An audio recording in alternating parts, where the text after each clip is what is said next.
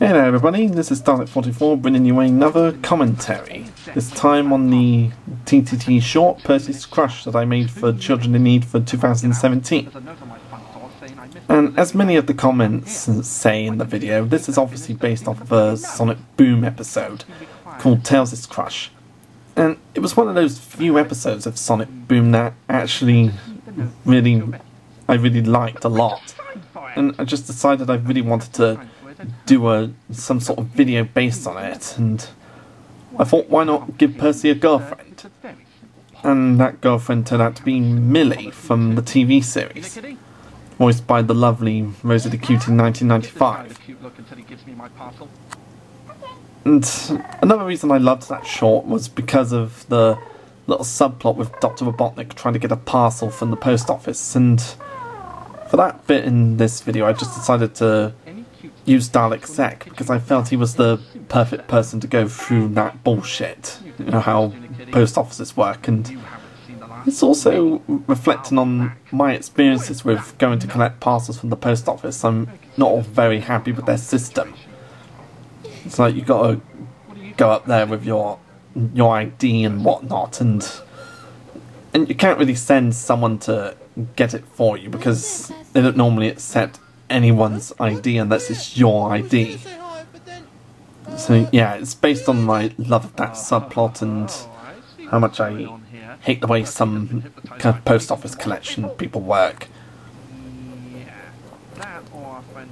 Yeah, and you might have noticed there's a lot of yeah, I had to bring back that oh guy.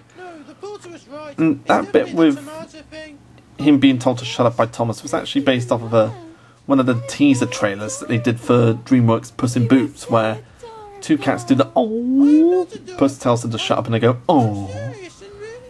Yeah, I just decided that I had to use that in a video. Uh, what was I saying? Uh, oh yeah, the the cameos in that in the video. Yeah, a lot of various Lego characters make cameos in this video. Like you see the Twelfth Doctor, Hans Moleman, and the TARDIS, the guy, and whatnot. And we see a lot more of them throughout this video. And and those moments where Percy's holding the a Miffy the Bunny notebook is based on how I used to watch Miffy and Friends on CITV when I was younger. Because when they played Thomas and Friends Series 7 on CITV, they played it alongside Miffy and Friends. So that was a reflection of how I used to watch Miffy and Friends. And with with this bit with Thomas showing Percy how to play it cool, like it was obviously based off of that moment from Tails' Crush, but with my own comedy added into it as well like Rosie's playing along with it, but they break out of it just to talk about their date that evening because, well, they're Thomas and Rosie, obviously. yeah.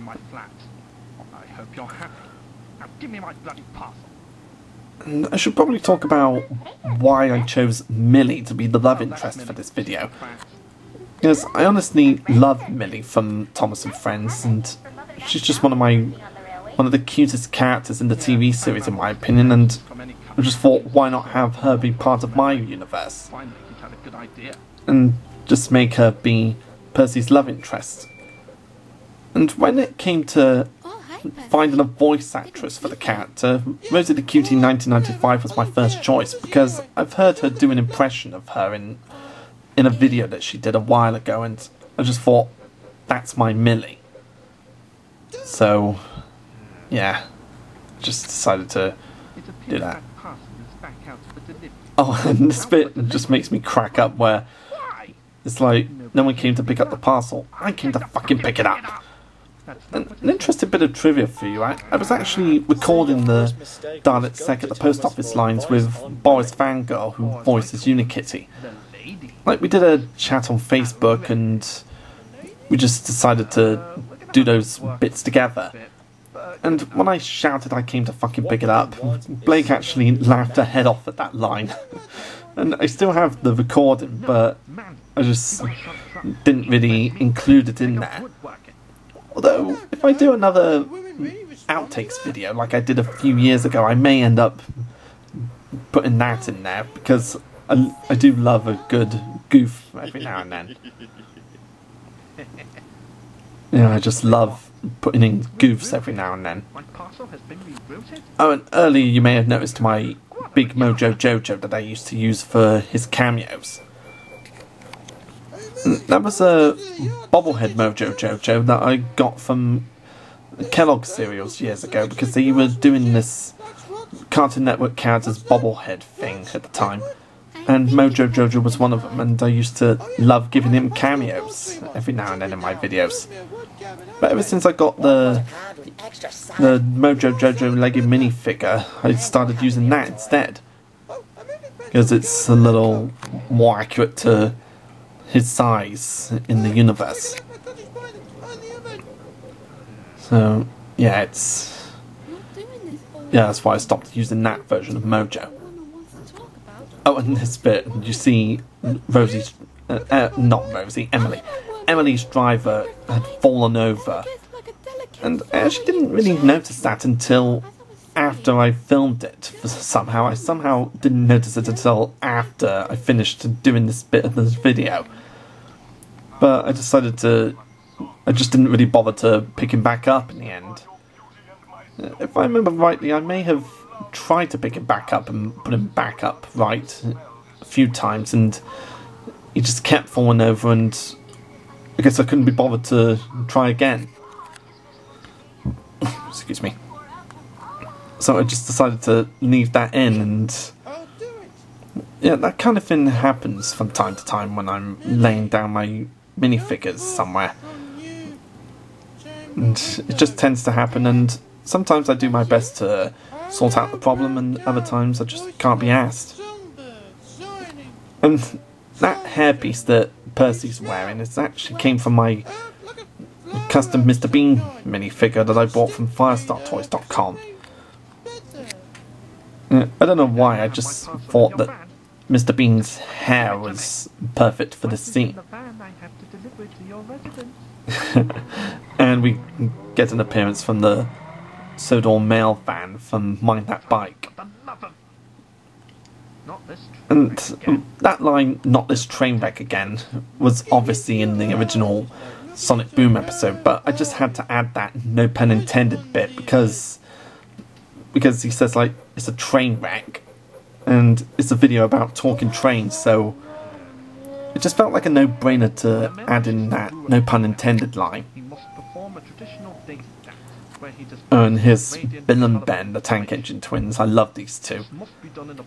And, and I really am pleased that I got these these wooden railway models because I've been using the those custom ones for years and they just didn't look much like Bill and Ben in hindsight. So whenever Bill and Ben pop up again, you're definitely going to be seeing a lot more of him there than there. Yeah.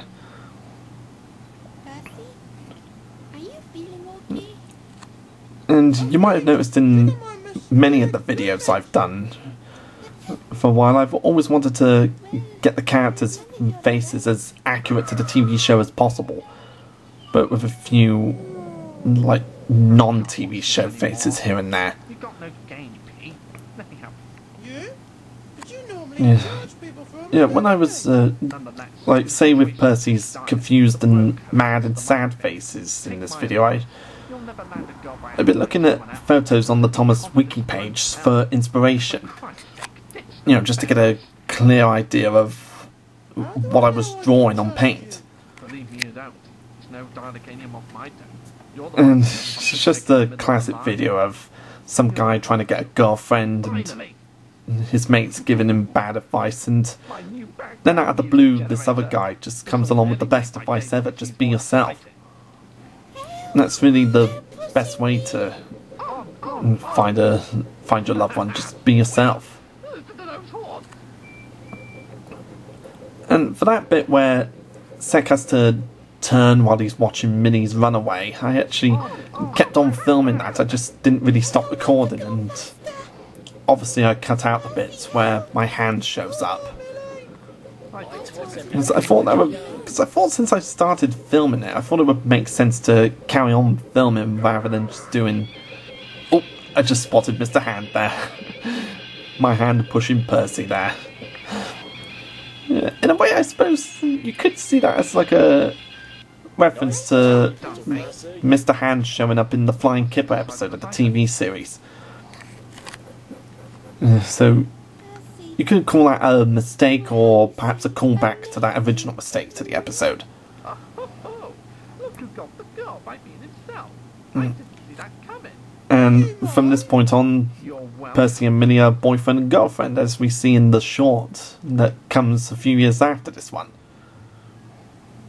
And I had a lot of fun working on this video. It was just a great joy to write and work on.